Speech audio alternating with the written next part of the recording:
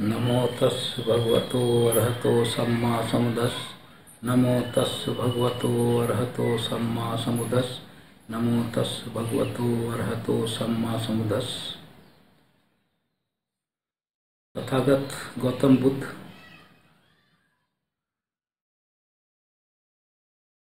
के चरणों में सत्सत नमन। उनसे पहले हुए सत्ताईस बुद्धों के और उनकी बुद्ध परिषद के चरणों में सत सत नमन, भविष्य में आने वाले मैत्रेय बुद्ध और उनकी बुद्ध परिषद को सत सत नमन और हम लोगों को ये धर्म की दिशा देने वाले बोधिसत्व बाबा साहब भीमराव अंबेडकर जी के चरणों में सत सत नमन। आज आषाढ़ की पूर्णिमा है। यह इतना महान और पवित्रतम दिवस है कि आज के ही दिन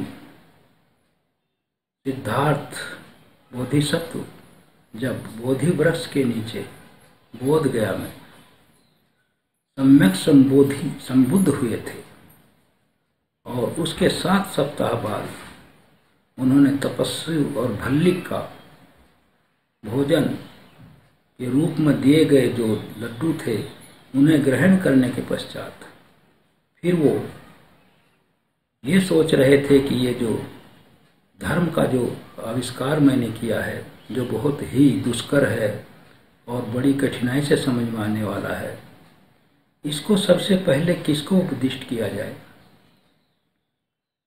जिससे कि यहाँ अविद्या का नाश होकर और इस जन्म मरण के चक्र से भव बंधन से ये लोक में फंसे प्राणी मुक्त हो सके।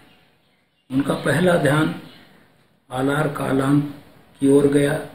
जिनके पास वो गए थे तो फिर उन्होंने देखा अपनी सिद्धि बल से और दिव्य चक्षु से कि उनका तो देहांत हो चुका है। फिर उनका ध्यान आया उद्धक रामपुत्र की तरफ़। उनको देखा वो भी चल बसे। फिर उन्होंने सोचा, जिन्होंने कई साल तक जो पंचवर्गीय भिक्षु थे, वो श्रद्धावान हैं और इसमें खोज में लगे हैं अपने मुक्ति की। उनकी तरफ़ ध्यान गया। देखा कि वो सारनाथ के ऋषि पत्तन मृगदाय में साधनारत हैं। उन्होंने सोचा, पहले मैं उन्हीं को उपदिष्ट करूँ, जिससे उनका भी कल्याण हो। और आगे चलकर लोक का कल्याण हो। तो आज ही के दिन जो हमारी पूर्णिमा है, जो कल से शुरू हुई और आज भी चल रही है, उन्होंने उन पंचवर्गीय भिक्षु को धमचक पवतन सुत उपदिष्ट किया था। पंचवर्गीय भिक्षु में कौडिन्य भद्य बप, महानाम और असजी थे। धमचक पवतन सुत धम चक्र धम शिक्षा जो भगवान बुद्ध की टीचिंग्स हैं, चक्र। उनका चक्र है, क्योंकि ये पैरेलल नहीं है, ये सर्कुलर है, चक्रिक हैं। और जिस तरह हमारा जन्म मरण का काल चक्र है, इसी तरह हमारा ये जो धम्म है, मध्यम मार्ग है, इसका भी इसी तरह का सर्कुलर है ये। तो धम्म का चक्र और तन सुत setting the wheel of the Dhamma. इसका एक उन्हें उपदिष्ट किया और इसके साथ साथ ही जब वो पाँचों धमचक पवतन सुत को सुनकर सबसे पहले कोडिन ने श्रोतापन हो गए उसके बाद फिर एक एक को उनको बारी बारी से सुनाया। जब पाँचों श्रोतापन हो गए, फिर पाँचों को जब श्रोतापन हो गए पाँचों तो उसके बाद उन्होंने सबको एकत्र करके फिर अनंत लखन सूत सुनाया अनंत लखन सूत का जो उल्लेख है, वो इसी के साथ है, लेकिन प्राय उसको लोग उतना नहीं बता पाते। वो कारण कुछ हो सकते हैं। धमचक पवतन सुत और अनंत लखन सुत होने सुनने के बाद फिर वो अरहत्व को प्राप्त हुए। उसके बाद अब लोक में बुद्ध के अलावा पाँच तो छह अरहत थे। इसी तरह फिर यश और उनके चौवन साथी, वहीं उनको उपदिष्ट किया। यश पहले प्रवर्जित हुए, फिर उनके चौवन साथी प्रवर्जित हुए, फिर वो भी अरहत्व फल को प्राप्त हुए। इस प्रकार उस समय बुद्ध समेत इकसठ अरहत लोक में थे। जब भगवान बुद्ध ने देखा, अब इकसठ अरहत हो गए हैं।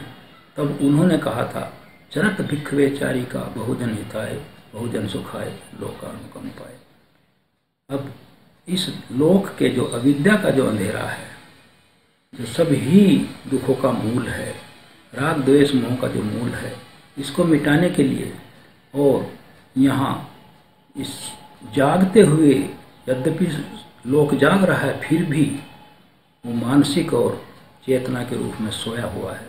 उसको जगाने के लिए चारों तरफ़ जाओ, एक दिशा में दो न जाएँ। तो उन्होंने अपना धमचक पवतन सूत्र का आह्वान किया और अपने आप भी उरुवेला की तरफ़ गए, जहाँ उन्होंने अग्नि, भारद्वाज और उनके भाइयों को प्रवर्जित किया। तो इस प्रकार आज के दिन का महत्व इतना ज़्यादा है कि इसको समझना चाहिए।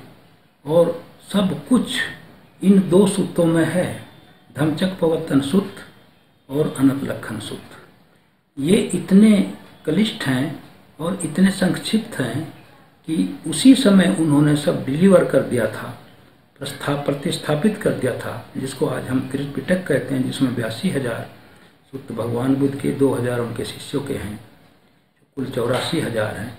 वो तो जब उनसे परीक्षाएँ की गई, जो प्रश्न समझ में नहीं आए, वो पढ़ते पढ़ते इतना व्यापक रूप हो गया।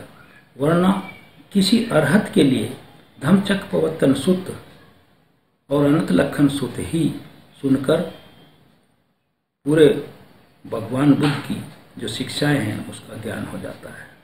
इस प्रकार हमें प्रयास करना चाहिए, मेरा सभी धर्म बंधुओं से, भगवान बुद्ध के उपासकों, श्रावकों से करबद्ध अनुरोध है कि आज के दिन हम लोग एक संकल्प लें कि भगवान बुद्ध की जो शिक्षाएँ हैं, जो लोक के लिए हितकारी हैं, आदि में हितकारी हैं, वर्तमान में हितकारी, भविष्य में हितकारी हैं, उनका, उनको अनुसरण करने के लिए संकल्प लें, जिससे कि हम अपना भी कल्याण कर सकें और इसमें लोक में दूसरों का भी कल्याण कर सकें और दुखों से मुक्ति की ओर हमारा मार्ग प्रशस्त हो सके।